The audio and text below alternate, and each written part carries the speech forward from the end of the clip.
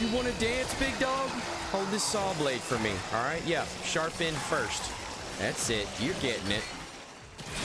Oh, man, someone's dad did not teach them proper tool usage.